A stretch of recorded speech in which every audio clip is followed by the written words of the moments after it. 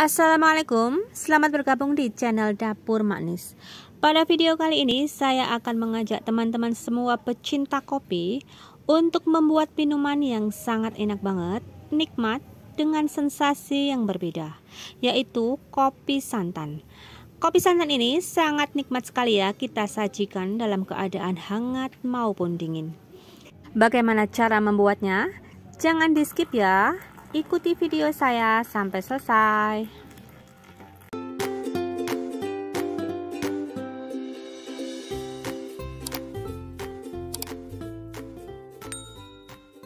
Langkah pertama, kita siapkan kopi tubruk, bisa merek apa saja ya.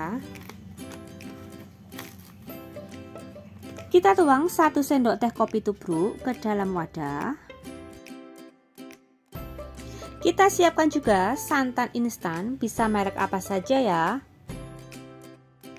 Lalu kita tambahkan 2 sendok makan santan instan.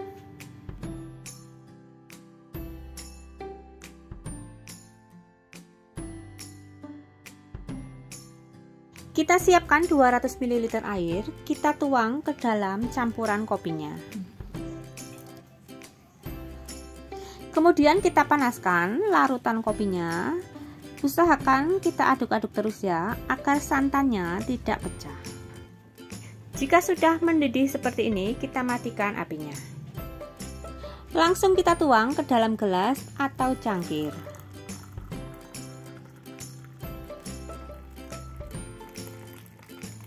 Kita tambahkan 2 sendok teh gula pasir atau sesuai selera teman-teman ya.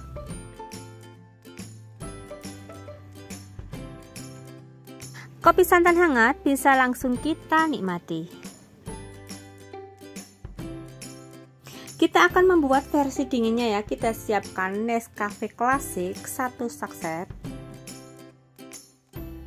Kita tuang ke dalam gelas. Lalu kita tambahkan 2 sendok makan santan instan.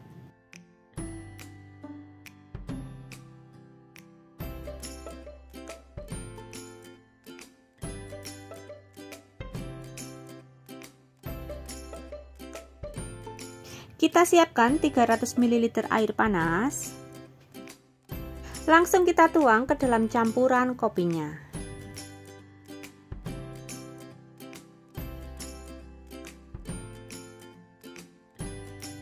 Kemudian kita aduk. Lalu kita diamkan kopi sampai suhu turun ya. Setelah suhu turun, kita masukkan beberapa potong es batu.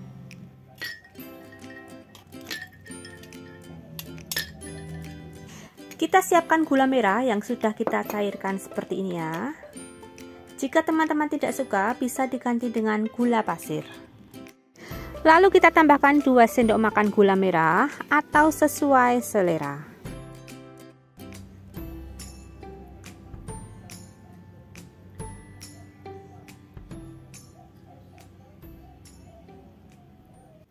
Nah ini dia teman-teman kopi santan versi panas dan juga versi dinginnya siap kita sajikan.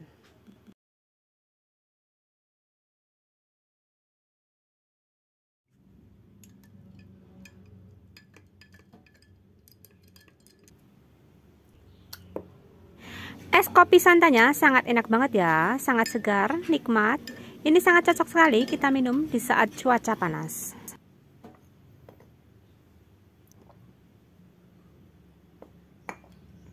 Yang versi panas juga nggak kalah enaknya. Ini sangat enak banget, nikmat, sangat cocok sekali kita minum di saat cuaca dingin. Ini pecinta kopi wajib coba ya, menikmati secangkir kopi dengan sensasi yang berbeda.